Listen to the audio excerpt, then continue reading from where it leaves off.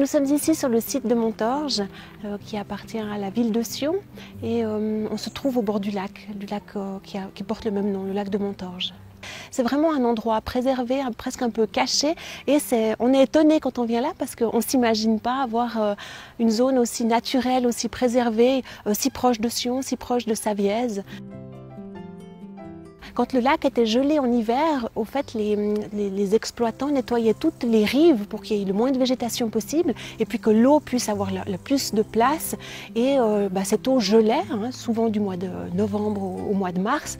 Cette eau gelait et quand il avait 30 à 40 cm d'épaisseur euh, de glace, euh, des hommes venaient avec des grandes scies, découpaient des gros blocs de glace euh, qui, qui portaient et qu'ils mettaient dans la maison de la nature. Et ça formait un immense bloc de glace qui pouvait durer même toute la belle saison, en fait, et que la brasserie valaisanne ou les amateurs de, boissons fraîches pouvaient venir chercher euh, à mesure des besoins. C'est chaque fois différent, que ce soit le matin, le midi, euh, en fin de journée. On a chaque fois un autre, euh, d'autres couleurs, d'autres, euh, une autre ambiance. Et au fil des saisons, toutes les saisons sont belles. On peut dire qu'au au printemps, quand les saules sont en fleurs, bah, c'est magnifique. Quand la, végétation reprend justement un peu de, ses couleurs, bah, l'é- l'été, avec toute la végétation qui est, vraiment foisonnante, on a une végétation qui est très riche.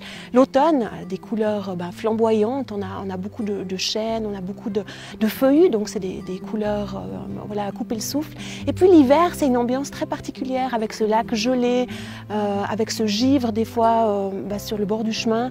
Donc euh, c'est vrai que toutes les saisons, et je pourrais dire aussi euh, à, tous les moments de la journée, on, a, on, a, on- se laisse euh, enchanter par ce lieu. On a beaucoup de, promeneurs qui viennent euh, faire le tour du lac. Ça fait plus ou moins un kilomètre le tour, donc on fait euh, 10 minutes euh, sans s'arrêter. Mais c'est vrai qu'il y a tellement de, points de vue, il y a tellement de choses comme les, les saules têtards à voir, euh, bah, les, roselières, les forêts riveraines, les haies diversifiées. Euh, donc euh, si on prend le temps, euh, on peut y prendre la demi-journée. On trouve autant bah, dans le lac euh, des poissons, une dizaine d'espèces de poissons. On trouve les batraciens, que ce soit le, crapaud commun ou bien la grenouille rousse. Il y a plus de 20 espèces de libellules autour du lac. Le canard colvert, on trouve les foulques. Euh, ils sont nombreux là à venir euh, pendant la belle saison.